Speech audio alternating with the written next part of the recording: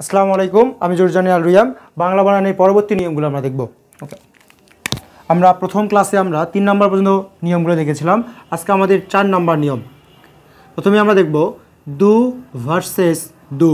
ওকে কোথায় দুতে রস্যকার হবে আর কোথায় দুতে দীর্ঘকার হবে, সেটা আমরা খুব পরিষ্কারভাবে আজকে আলোচনা করব। ওকে প্রথমে আমরা দেখব যদি এই দু কখন হবে, এই দু যখন দূরত্ব বুঝাবে যখন দূরত্ব বুঝাবে তখন আমরা এই দু হবে। যেমন দূর দূর, দূরত্ব দূরত্ব দূরত্ব, দূরান্ত।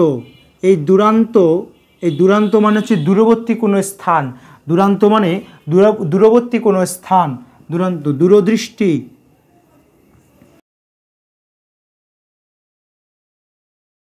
দূত, এই দূত মানে সংবাদ বাহক। দূত দূর থেকে যে সংবাদটা বহন করে সেগুলো দূত ওকে আর এই দু এই দু হবে অন্য কোনো সব সব বাকি ক্ষেত্রে, সব ক্ষেত্রে এই দু হবে, বাকি সব ক্ষেত্রে দু হবে,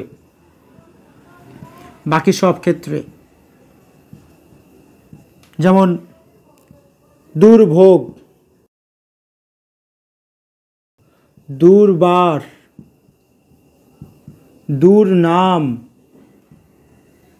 দুরন্ত দুরন্ত, একটা জিনিস খেয়াল করি, আমরা যে এখানে আমি বলছি দুরান্ত দুরান্ত, এই দুরান্ত মানে দূরবর্তী কোনো বিষয় দুরন্ত মানে চঞ্চল, দুরন্ত মানে চঞ্চল, ওকে, এরপরে দেখছি, দূরদৃষ্ট, এই দূরদৃষ্টি মানে দূরের বিষয়, আমরা খুবই দূর মানে এখন থেকে পরবর্তী যে বিষয়গুলো আমরা দেখতে পারি, আন্দাজ করতে পারি, সেগুলো দূরদৃষ্টি। আর দূরদৃষ্ট বলতে আমরা মন্দ ভাগ্য। দূরদৃষ্ট বলতে আমরা মন্দ ভাগ্যকে বুঝি। ওই জন্য এখানে হবে রস্যকার দূরদৃষ্ট, মন্দ ভাগ্য। ব্যতিক্রম কিছু বানান রয়েছে। এখানে কিছু ব্যতিক্রম বানান রয়েছে। সেগুলো হচ্ছে যেমন দুর্বাহ, দুর্বাঘাস, দুর্গার হবে দূষক দূষক দূষক দূষণীয় দূষণীয় দূষিত এ বানানগুলো ব্যতিক্রম। আর এই যে দু যখন দূরত্ব বোঝাবে, সেখানে একটা ব্যতিক্রম বানান আছে। ব্যতিক্রম বানানটা হচ্ছে দূরবীন। এই বানানটা রস্যকার দিয়ে লিখতে হবে। দূরবীন। আমরা যেটা দিয়ে দূরের জিনিস দেখতে পারি, তাকে বলি দূরবীন। ঠিক আছে? এই দূরবীন দূরে দূরে কোনো জিনিস বোঝালেও রস্যকার দিয়ে লিখতে হবে। বাংলা অভিধানে সবসময় বানানটি রস্যকার দিয়ে লিখ- লেখা হয়েছে। ওকে এই যে কিছু আরও উদাহরণ যেমন, দুর্গ, দুর্গা এ বানানগুলো সবসময় রস্যকার হবে। তাহলে আমরা বুঝতে পারলাম যদি দু, যদি দূরত্ব বোঝায়, তখন সেখানে দুর্গকার হবে, আর দু, আর বাকি সব ক্ষেত্রে কী হবে? দু বানান রস্যকার দিয়ে লিখতে হবে। ব্যতিক্রমগুলো যেমন দুর্বা, দূষক, দূষণীয়, দূষিত। এখন আমরা পাঁচ নম্বর নিয়মটা দেখব। পাঁচ নম্বর নিয়ম, অঞ্জলি অঞ্জলি প্রত্যয়যুক্ত শব্দে, অঞ্জলি প্রত্যয়যুক্ত শব্দে রস্যইকার হবে। অঞ্জলি প্রত্যয়যুক্ত শব্দে রস্যইকার হবে, যেমন গীতাঞ্জলি গীতাঞ্জলি, পুষ্পাঞ্জলি, শ্রদ্ধাঞ্জলি শ্রদ্ধাঞ্জলি। ওকে তাহলে আমরা অঞ্জলি প্রত্যয় যুক- যুক্ত শব্দগুলো সবসময় কি ইউজ করব? রস্বীকার গীতাঞ্জলি, পুষ্পাঞ্জলি, শ্রদ্ধাঞ্জলি.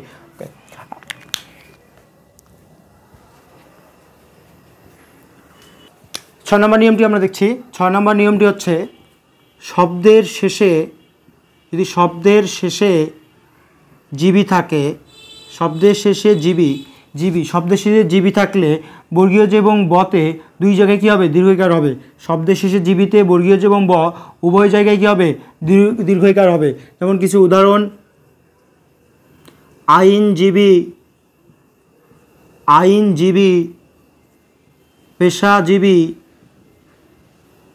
পেশাজীবী শ্রমজীবী শ্রমজীবী মৎস্যজীবী মৎস্যজীবী। তাহলে এখানে খেয়াল করছি যে শব্দের সাথে যদি জীবী থাকে তাহলে কী হবে? সেই জীবী বানানে বর্গীয়জাত দীর্ঘকার, বতেও দীর্ঘকার, যেমন আইনজীবী, পেশাজীবী, শ্রমজীবী, মৎস্যজীবী। আবার আমরা দেখছি শব্দের শুরুতে শব্দের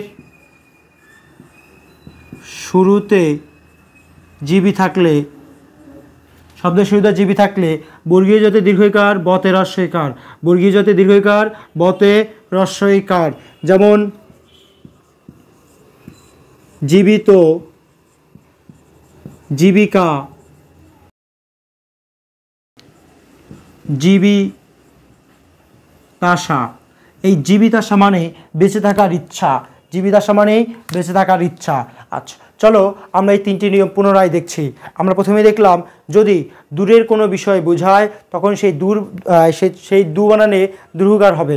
আর যদি বাকি সব ক্ষেত্রে দু বানানে রস্যকার হবে, যেমন বাকি সব ক্ষেত্রে যেমন দুর্গ, দুর্নাম, দুর্নিবার, তারপরে দুর্বার, তারপরে দুহিতা, এই বানানগুলোতে সবসময় রস্যকার আর যদি দূরবর্তী কোনো কিছু বোঝায়, যেমন দূত, তারপরে দূরত্ব, তারপরে আমাদেরকে দূরপ্রাচ্য দূরদৃষ্টি, এগুলো থেকে কী হবে? এগুলোতে দুর্গকার হচ্ছে। আচ্ছা এরপরে আর অঞ্জলি প্রত্যয়যুক্ত যে সব শব্দ রয়েছে, সেই সব শব্দে সবসময় রস্বইকার হবে, যেমন গীতাঞ্জলি, শ্রদ্ধাঞ্জলি, পুষ্পাঞ্জলি, জলাঞ্জলি। আরেকটা নিয়ম আমরা দেখলাম যে, আরেকটা নিয়ম, শব্দের শেষে যদি জীবী থাকে, শব্দের শেষে যদি জীবী থাকে, সেই জীবী বানানে উভয় জায়গায় দীর্ঘকার হবে আর যদি আমার আইনজীবী, শ্রমজীবী, মৎস্যজীবী, আবার শব্দের শুরুতে যদি জীবী থাকে, বর্গীয় যতে কী হবে?